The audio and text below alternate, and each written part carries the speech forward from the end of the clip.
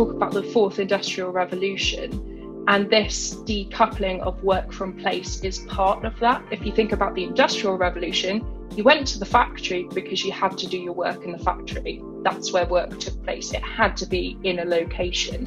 Whereas now, you know, digital software enables us to work from everywhere. So why aren't we taking advantage of that and building platforms, building capabilities that allow people, like you say, to live the lives they want to live and have the identities they want to have? Hello, and welcome to a weekly webcast on remote from your friendly folks at GitLab. Here we'll tackle the real challenges, ask the hard questions, but of course, try not to take ourselves that seriously. I'm Darren, head of remote at GitLab. I've worked across the entire spectrum of remote for 14 years, my entire career. And in this webcast, we want to share some best practices, things that we've learned at GitLab, but also bring in insights from very interesting people around the world. And today, today we want to invite Bethan Vincent, marketing director at Netsells. Uh, you may remember her from a few episodes ago. We talked about tooling and kind of wrangling the software madness. And uh, today we want to talk about something a little bit different, a little bit deeper, more philosophical. So, first off, welcome, uh, welcome, Bethan. Thank you so much for joining us again. Thank you so much for having me.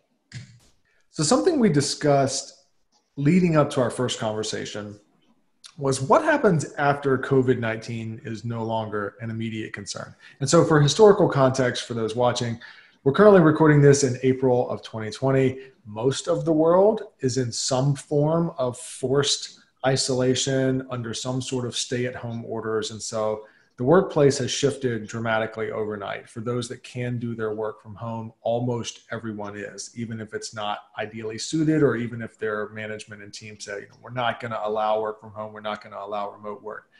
The pandemic that we're in has kind of forced the hand on that. So, for historical context, that is where we're at. And you and I were talking about the here and now. There's a lot to solve, uh, and GitLab has written some guides that we'll list in the show notes on t- what teams and individuals can do right now to kind of stabilize and build build a foundation of getting through and establishing business continuity.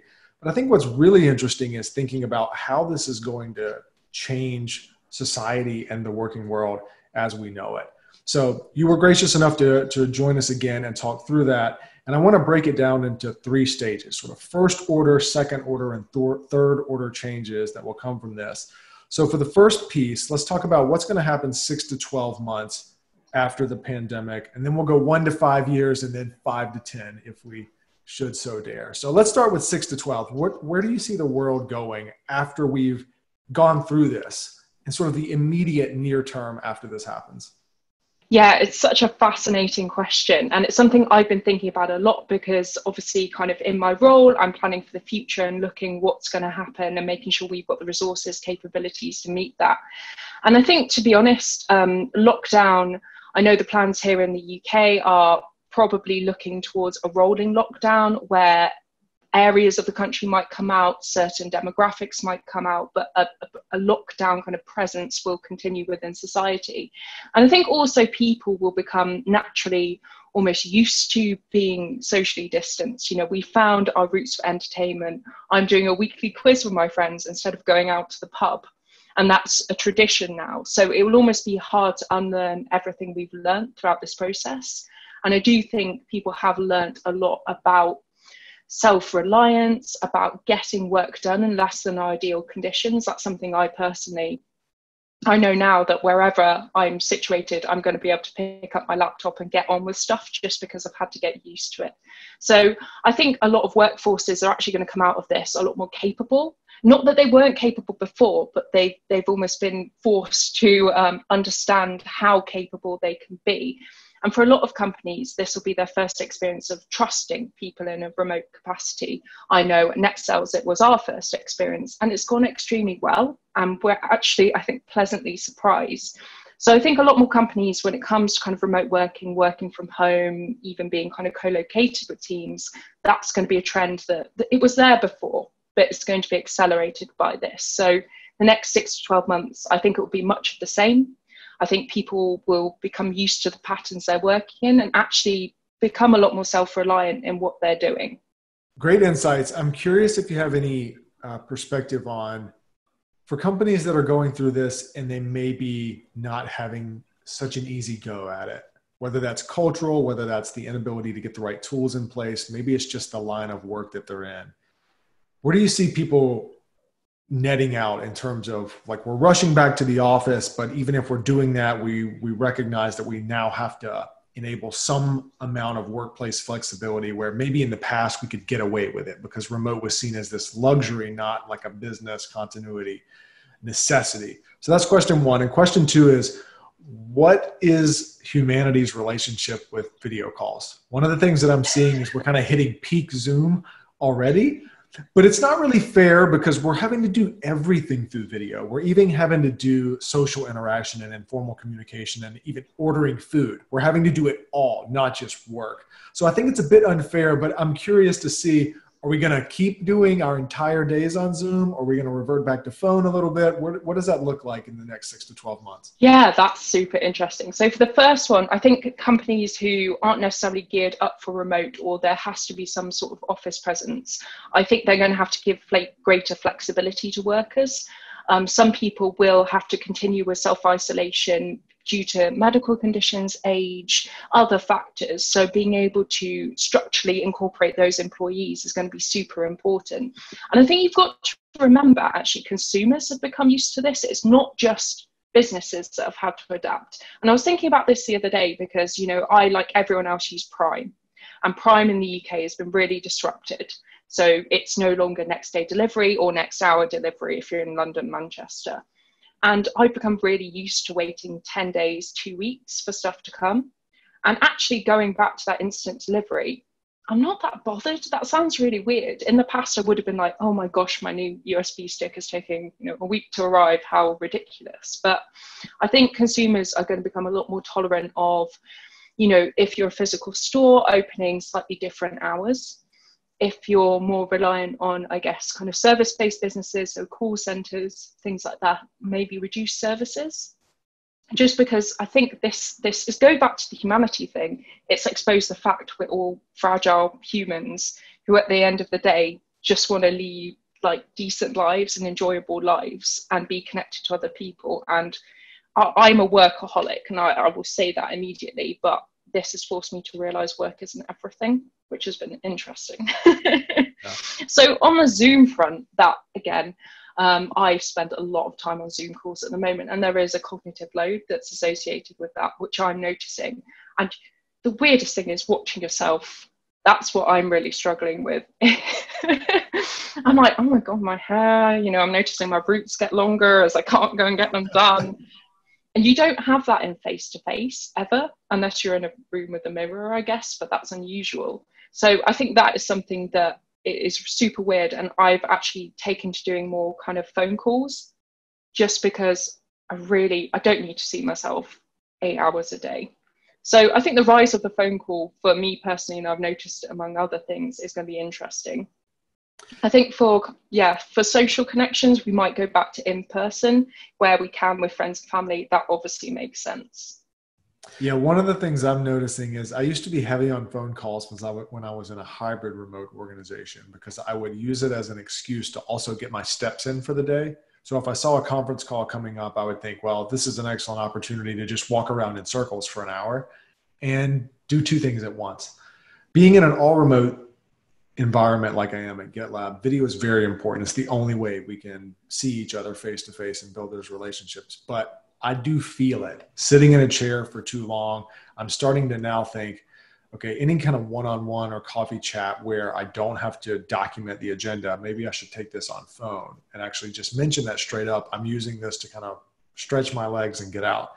But the other thing is, I'm becoming way more interested in recording and transcription tools where I could go on a walking meeting as long as it was being recorded, and then anything I would verbalize would be transcribed. At GitLab, we do this manually because we like the subheadings and the indentations and the, the low context that comes from an actual human doing it. But I'm hoping a startup sees this as an opportunity to get smarter with transcriptions instead of just like a wall of words. Maybe they can detect the voice and detect the pauses and structure that in a better way so I don't have to be in Zoom all the time.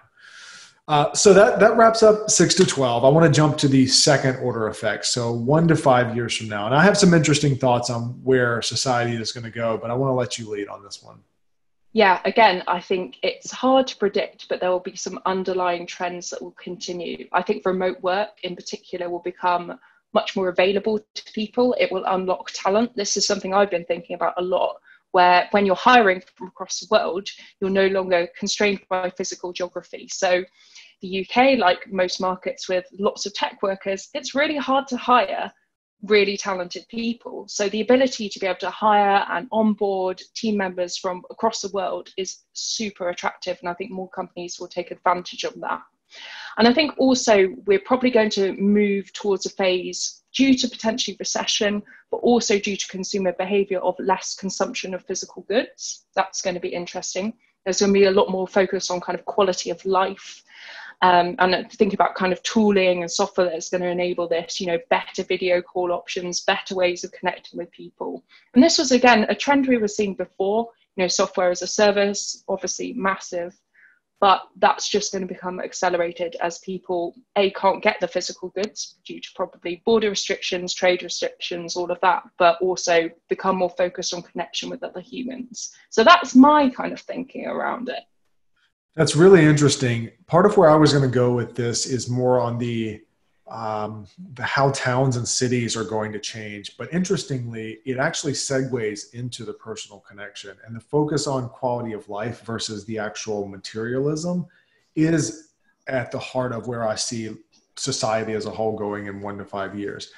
I think what's going to happen, let me give you an example. I think you're going to have millions of people that go through this work, accomplishing their work from home and then in three or four months, if the boss says, all right, resume your commute, that's going to mean different things to different people. But in really packed cities like London, Singapore, LA, San Francisco, this could mean resuming two to four hours of your day in a vehicle or on the tube or whatever it may be. And I think what you're going to have happen is millions of people are going to collectively look at each other and say, we just did our jobs from home for four months. We saw our families more. We were able to cook more. I could actually pick up a hobby again. I saw my children. Maybe you were a homeschool teacher and that wasn't uh, exactly what you were aiming for, but nevertheless, you saw them more. You contributed less greenhouse gases. You spent less money on fuel, so on and so forth. I think there's going to be this kind of collective chorus of voices that say, how about no, we don't default to working back in the office and then the next order of that is when the lease runs out, you're going to really ask yourself, should I be paying this much to live in this city where I was really only here for work? I could actually go somewhere else, maybe a mid or small sized town, where I could be more impactful in that community because there are less people. I can I can actually feel the impact of what I'm doing here more.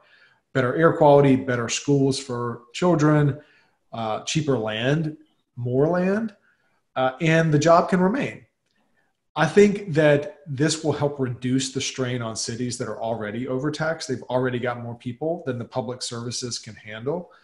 Uh, I think this could be a real boon for smaller towns that have experienced rural depopulation, where they've just had this brain drain of people have just left, even if they like the culture there and they like the way of life there, they've had to leave for work. And I think remote could enable the reversal of that and towns in general, I think, are going to reevaluate how they encourage new business. Smaller and mid-sized towns may say, "All right, we're going to carve out a piece of land. Maybe we can convince a company or a corporation to come in and build a skyscraper here, so we can bolster our economic tax base." But now that looks a lot different. You may say, "Okay, what kind of med- medical facilities do we need? Do we have the the right fiber optic network in place? Do we have uh, good restaurants in place? Because we need to attract people now that work maybe they work at a headquarters that is 3,000 miles away from our town, but we want to attract them to the town. We want it to be the most livable town, not necessarily the town with the most skyscrapers and office cubicles. I think that's going to be massive change for, for real estate. Uh, but I also see people disassociating or decoupling their own personal identities with work in a big way what I've seen with this forced isolation is people that have tied their identity to this physical building that they go to every day. Now they don't have that. So they're asking themselves, well, well, who am I? Oh, that's right. I'm a, I'm a mother. I'm a father. I'm a son. I'm a daughter. I'm a pet owner. whatever it may be. It's like, oh, yeah, I'm also that. I'm not just defined by my work. And I hope that in the next one to five years, we as a society will have a healthier relationship with identity as it relates to work. I don't think this is a bad thing. I think people recognizing that they're more than their work actually helps them be more intentional about what they want to give to their work. Yeah, definitely. And I think this is kind of, you know, we talk about the fourth industrial revolution, and this decoupling of work from place is part of that. If you think about the industrial revolution, you went to the factory because you had to do your work in the factory. That's where work took place. It had to be in a location. Whereas now, you know, digital software enables us to work from everywhere. So why aren't we taking advantage of that and building platforms, building capabilities that allow people like you say, to live the lives they want to live and have the identities they want to have. So we're going to close with five to 10 years out. And obviously, that's a long way from now. So it's quite possible that we watch this in 10 years uh, and it's extremely comical. But hey, we've got to put something out there and see what happens. Uh, so I think this is actually potentially the most interesting one. A lot of people have asked me, what do I think this means for travel and just movement of people in general? Is this going to get people more comfortable with kind of staying where they are? There's less of a need or a yearning to go out. I think five to 10 years from now, we're going to see a massive rebound in people moving, but for very different reasons. I think right now, or just before COVID, I think we kind of hit peak business travel where planes were packed, record setting passenger loads but most of these people were traveling halfway around the world for an eight hour meeting, and then they kind of went back. And people were, on the whole, not really taking a lot of the vacation that they could have. They were actually exploring less. They were still traveling, but for work. I could see that changing actually, where when you don't have to travel as much for work, it will open up more opportunities to travel for other reasons whether that's to visit far flung family members, uh, connections that you kind of lost touch with in university. Uh, maybe you start checking off your bucket list more because it's just more accessible. You aren't so burnt out on travel that you won't go travel to an exciting vacation place. So I think movement movement is going to look a lot different, and it's going to be more inspirational movement versus kind of mandated movement. So I, I think that's going to be the the biggest change from a societal perspective is travel will come back and movement will come back. I think we're just going to do it for very different reasons. Definitely, and that made me think of um, in in a previous role. I spent two weeks working from Paris because my partner was there on a music composition course, and I kind of tagged along. And I asked my manager. I said, "Look, I've got Wi-Fi, so can I just work from Paris?" And it was one of the most inspirational things my work I ever did. I remember I was sitting in parks, it was really sunny, I had my laptop out, and I got a lot of really good work done. And I came back, and the company had still obviously had my time working on projects and things like that.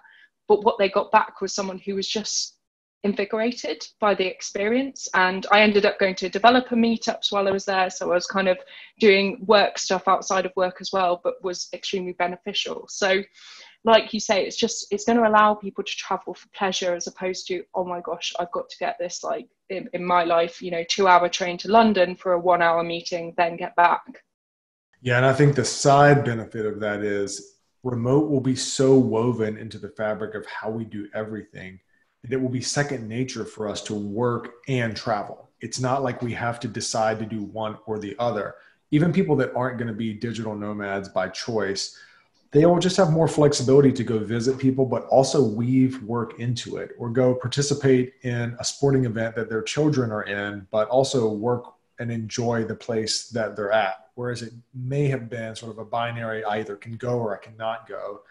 Now you have the option to go, and remote work isn't something that you'll have to explain. It will be more woven into the fabric of society. I think you'll find charging ports and Wi Fi in places that you would never have imagined 10 years ago, just because governments and municipalities realize, yeah, people are going to be coming in and out of here. We need to make sure we service them.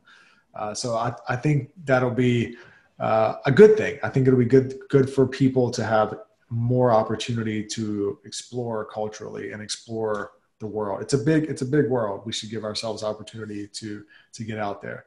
So I want to close with this. I try to close every episode uh, on a high note, and so I want to ask you, what's one good thing that you've seen or heard in the past week or month? So uh, in the UK, we um, we've had a big kind of fundraising effort by a veteran who um, actually is a veteran of the Second World War, and he he walked, I think it was 100 meters of his garden, and his initial target he was trying to raise was like 10,000 pounds, and I think the total, correct me if I'm wrong, but it's about 20 million. And he he was uh, yeah, and it's amazing, and he's actually been made a colonel this week as well, and I think it, it just shows what what what someone can do if they put their mind to it because he's 100 you know walking that far is extremely difficult for him right. and it kind of it shows the selflessness and it, it, bridges a generational divide for me because i think that can be a problem in all of this and i've i've had even friends who've said well I'm in my 20s, I can go out and it's just old people and it's kind of their fault we're isolating. Well, no, we're doing it to protect everyone and we're all in this together. And I just thought it was a really, it's an amazing story if you want to go and look it up on BBC or whatever. It's, it's really inspiring. I do love that. Uh, I think it's fascinating that the forced isolation is in some ways bringing us closer together and making us realize that we are all in this together and we're all humans first. And uh, that's beautiful. And so, for those watching, look after each other, lend a hand, lend a shoulder. You never really know what someone's going through. So be there for them if you can. And with that, I want to offer up uh, if you have any questions, tweet us at GitLab and we'll try to work those into the next episode. You're welcome to connect with us on Twitter and LinkedIn and visit allremote.info to download the remote playbook, sign up for our remote newsletter, and look at all of our all remote guides. We can't wait to talk more soon. Until then, stay cozy, be excellent to one another. Aloha and mahalo.